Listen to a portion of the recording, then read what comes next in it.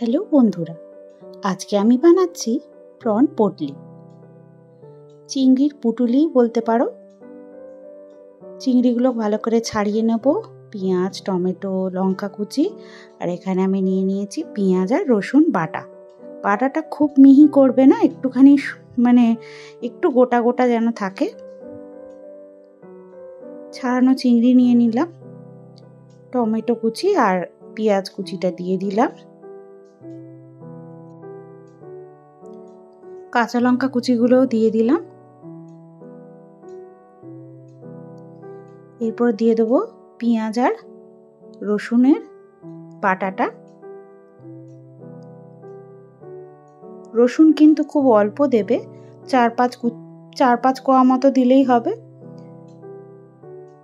পেঁয়াজ একটা একটা ছোট দিয়েছি বাটাতে আর একটা ছোট দিয়েছি কুচিতে। টমেটো, একটা লঙ্কা, দুটো কুচিয়ে তোমরা এবার ঝালটা তোমরা যে যেরাম খাও সে সেরাম দিতে পারো। লঙ্কা কুচি বেশিও দিতে পারো বা লঙ্কাটা তোমরা পেস্ট করেও দিতে পারো।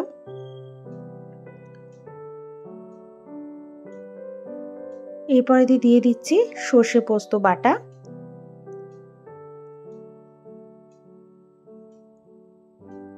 নুন দিচ্ছি।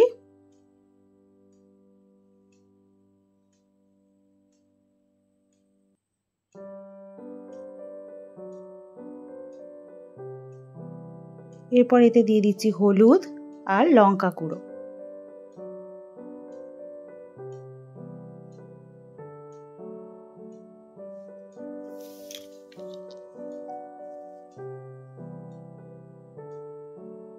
ভালো করে এটা মিশিয়ে নিতে হবে। এরপর এতে দিয়ে দিচ্ছি সর্ষের তেল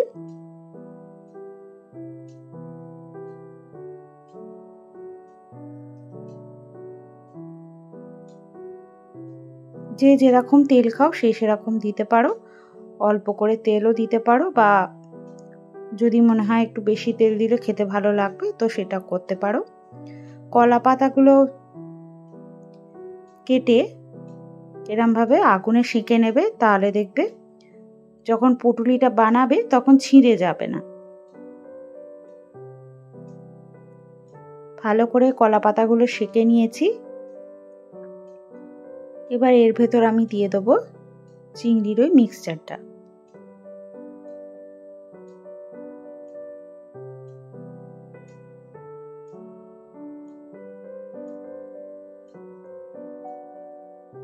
অবশ্যই জানিও আমার রান্নাগুলো তোমাদের কেমন লাগছে। ভালো লাগলে অবশ্যই লাইক করো শেয়ার করো আর সাবস্ক্রাইব করো।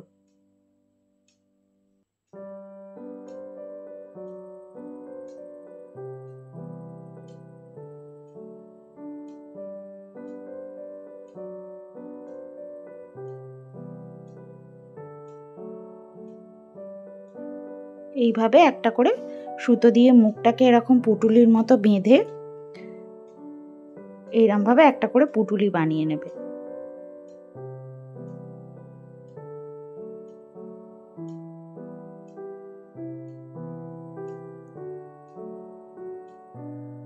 এরমভাবে আমি সব কটা এরমভাবে বানিয়ে নেব।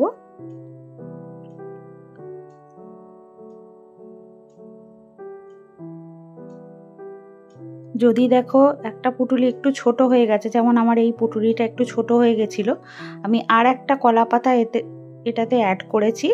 ওর ওপর থেকে এটাকে মুড়ে মুখটা সুতো দিয়ে বন্ধ করে দিয়েছি।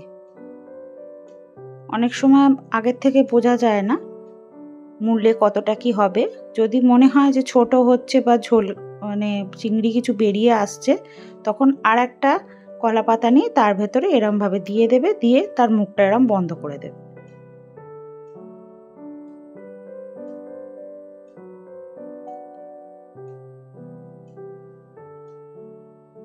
এরমভাবে সব কটা আমি বানিয়ে নেব।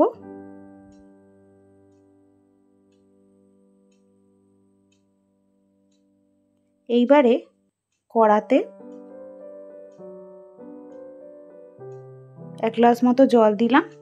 দিয়ে ওতে একটা স্ট্যান্ড বসিয়ে এর ওপরে পুটলিগুলো বসিয়ে দেবো।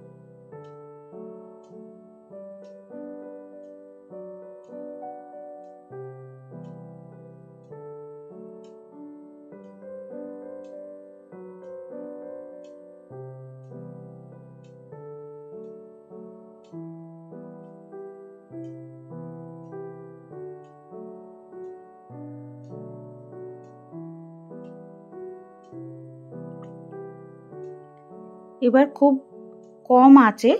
এটাকে আমি প্রায় তিরিশ থেকে চল্লিশ মিনিট মতো এটাকে ঢাকা দিয়ে এটাকে রান্না করব। ঢাকা দিয়ে এটা রেখে দেবে। আধ ঘণ্টা বাদে এটা রেডি হয়ে যাবে, এই দেখো। আধ ঘণ্টা কি চল্লিশ মিনিট মতো।